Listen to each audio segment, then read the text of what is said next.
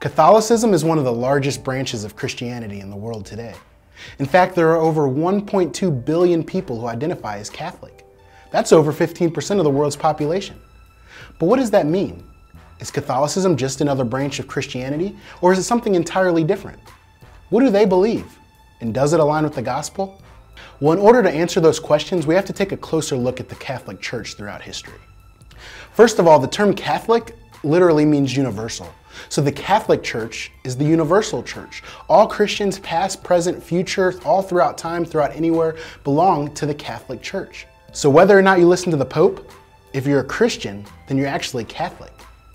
But most often the term Catholicism is linked with the Roman Catholic Church. The Roman Catholic Church claims to have direct ties all the way back to the New Testament Christianity, where it's believed that Peter was the first pope. In Matthew 16, 18, Jesus tells Peter, On this rock I will build my church. Well, since Peter's name means rock, many Catholics take this to mean that Peter was the rock foundation of the church, and so therefore they label him as the first pope. While those details and the details about popes to follow are debatable, there's no question that the Roman Church itself does date back to the first century.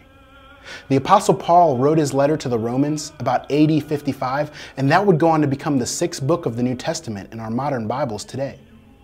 It's interesting that the Apostle Peter's not even mentioned in the book, but regardless, there was a church in Rome in the first century, and it's not hard to imagine that this church was just like all the other churches at the time. That they were persecuted and life wasn't easy for them, but through it all, they remained faithful, just like many other churches at the time. AD 312 was the biggest year for the church. There was a man named Constantine who was preparing to go to war, and his army was outnumbered four to one. But before the battle, Constantine claimed to have seen a vision of Jesus.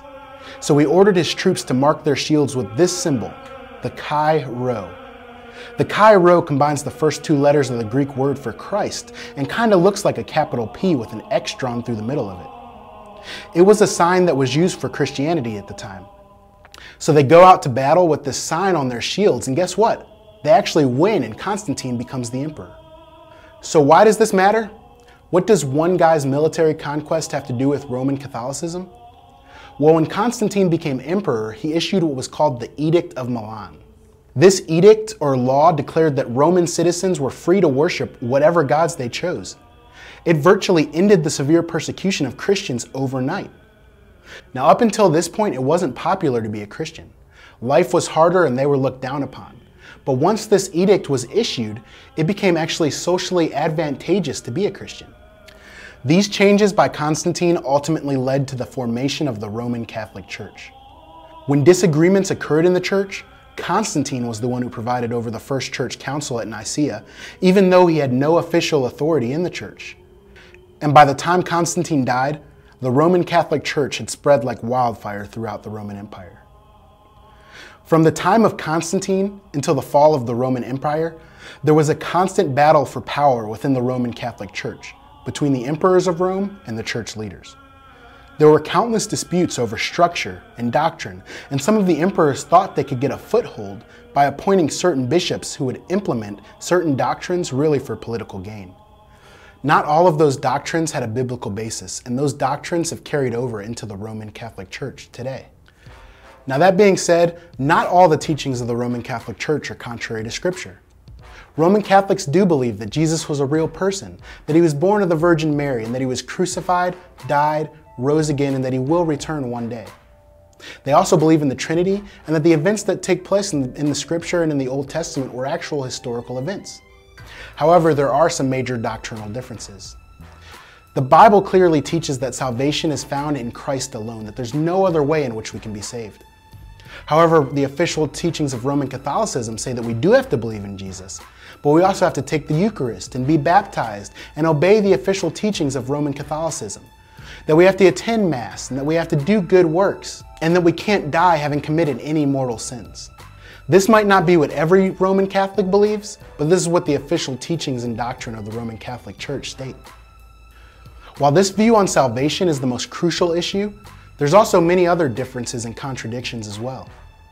Roman Catholicism teaches that the Pope is infallible, or that his teachings are without error.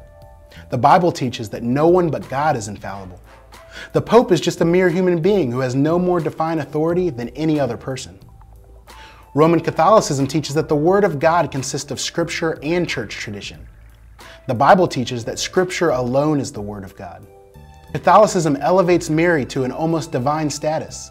In fact, the official Roman Catholic doctrine states that Mary was born without original sin. The Bible teaches that Mary was an ordinary woman who loved God and she sinned just like every other living person besides her son Jesus. Roman Catholicism teaches that we can earn right standing with God through good works, whereas the Bible says that we are made right with God by accepting what He has done for us on the cross. Yes, we should do good works, but our good works are evidence for our salvation, not a basis for it. To say otherwise would be to say that Christ's death on the cross was not enough. Roman Catholicism teaches that Christ's body and blood exist in every bread and glass of wine during communion, whereas the Bible teaches that the bread and wine are just symbols of what Jesus did for us on the cross. Roman Catholicism states that every time someone goes through Mass and the sacraments, that is what satisfies God's wrath against sin, whereas the Bible teaches that God's wrath was satisfied once and for all on the cross. And finally, Catholicism states that no one can be 100% sure they're saved. However, the Bible repeatedly tells us that we can know, and it lays out the plan for what we need to do to be saved. So, what do we do with all this information? Are Roman Catholics saved? Well, it's impossible for us to make a universal statement about the salvation of any denomination. I mean, not all Baptists are saved, or not all Lutherans, or Methodists, or Presbyterians, or whatever denomination you might be. Salvation is not based on whether you're part of a certain denomination. Salvation is based on whether you have put your faith in Jesus Christ alone. The Bible says in Romans 10:9 that if you confess with your mouth that Jesus is Lord and believe in your heart that God raised him from the dead, you'll be saved. That's all there is to it. And there are many Roman Catholics who believe this, so yes, the answer to that question is Roman Catholics can be saved. But the question we should be asking is not whether Roman Catholics can be Christians, it's whether Christians can thrive in a Roman Catholic environment. There are many genuine believers around the world who attend Roman Catholic churches. Some who grew up in the Catholic Church, and despite the differences in biblical interpretation, the message of the gospel resonated with them and changed their life. Some genuine believers remain in the Catholic Church out of family tradition or desire to reach other Catholics for Christ. Or maybe some, even though they do understand the message of the gospel, just don't know about the differences between what they are taught and what the Bible teaches.